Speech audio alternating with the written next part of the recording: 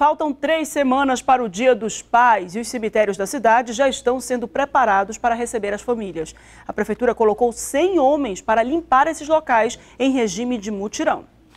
Manaus tem 10 cemitérios, o maior é o do Tarumã. Aqui a prefeitura prepara uma força-tarefa para concluir toda a limpeza até as vésperas do Dia dos Pais. 100 garis foram tirados das ruas para cuidar exclusivamente da limpeza dos cemitérios.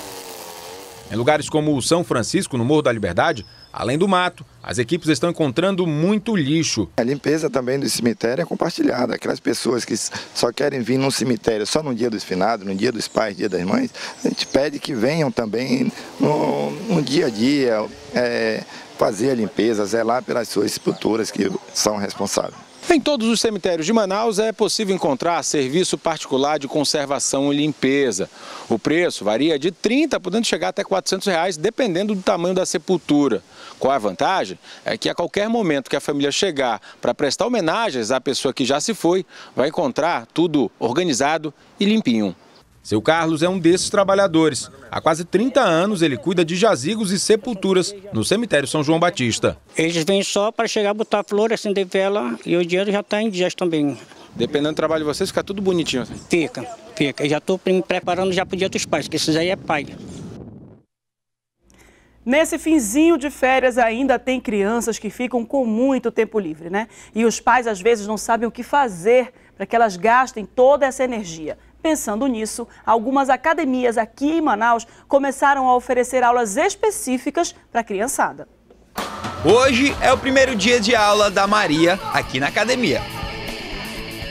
Incentivada pela mãe, Maria Luísa deixou o conforto de lado e veio para a ralação, atividades que exigem um máximo de energia. E ela, que não veio para a brincadeira, encarou o desafio. Eu gostei muito. Vai voltar? Sim.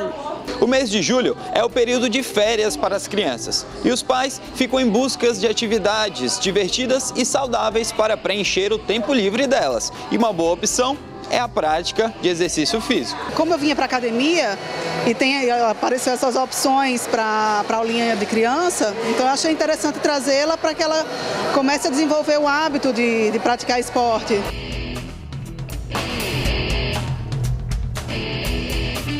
Essa academia na Ponta Negra, zona oeste da capital, ampliou as atividades e agora o público infantil tem onde cuidar da saúde.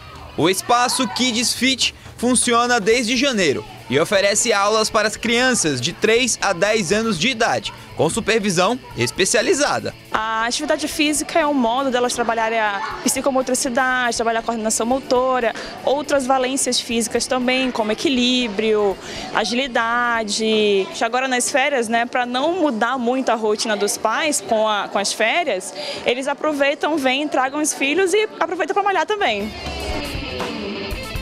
A prática de exercício físico desde a infância pode prevenir diversas doenças, como a obesidade. Grande maioria dos casos de obesidade na infância hoje é, o, o problema é o mesmo do adulto. Então, é a falta de atividade física, a falta de gasto energético e o alto consumo de calorias.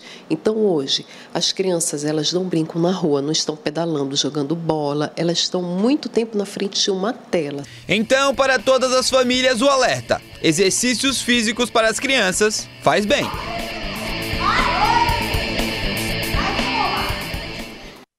Só faz, né? Mais de 4 mil estudantes do Amazonas estão em Manaus disputando os Jogos Estudantis. A competição é porta de entrada para o esporte profissional e, para muitos, o desafio de uma vida. Pronto! Foi dada a largada para mais um final de semana do GEAS. O sol foi um dos maiores desafios deste sábado. É cansativo debaixo, né? Mas eu tentei. Sim. Superação. Sim, sim. 4.500 atletas de 57 municípios superaram grandes desafios. A Isabela, por exemplo, saltou quase 4 metros, mas a maior distância que ela precisou superar foram os mais de mil quilômetros entre São Gabriel da Cachoeira e Manaus. É muito difícil vir pra, de São Gabriel para cá. É uma longa distância para nós. Mas veio com que pensamento? De tentar vencer. Os Jogos Estudantis do Amazonas completam 41 anos. É a porta de entrada para o esporte profissional. Para alguns também pode ser o início de uma carreira. Foi o que aconteceu com o Gert Milson. De campeão do lançamento de disco no GEAS de 2003 e 2004, a profissional de educação física e técnico da equipe de Itacoatiara. O esporte ele abre várias portas. Eu soube escolher através de orientações, que vai ressaltar aqui a professora Margarete Bahia, a professora Gorgonha e muitos outros professores do atletismo que me contribuem, contribuem para essa minha formação. E assim eu estou passando essa formação aos demais atletas hoje, a idade escolar de 12 a 17 anos. Esses jovens precisam saltar sobre as dificuldades, dores e até a frustração da derrota. Chorar faz parte. Mas o importante é nunca desistir. Não vou desistir não. Tem outra prova, tenho fé que eu vou conseguir. Eu fui nessa, mas Deus permitir, em nome de Jesus Cristo eu vou conseguir. Até o próximo dia 29, os melhores atletas escolares do Amazonas serão definidos. Todos querem subir no lugar mais alto do pódio. Afinal, a medalha qualifica para o brasileiro dos Jogos Estudantis, em novembro. O Adilson já garantiu a participação. Próximo passo Natal. Dar o meu melhor lá e, se Deus quiser, trazer uma medalha para o Amazonas. A seguir, concessionária de água quer melhorar serviço na capital e vai, e vai buscar modelo implantado no Mato Grosso do Sul. E ainda, tropas do Exército reforçam campanha de vacinação contra o sarampo na zona leste da capital. É daqui a pouco.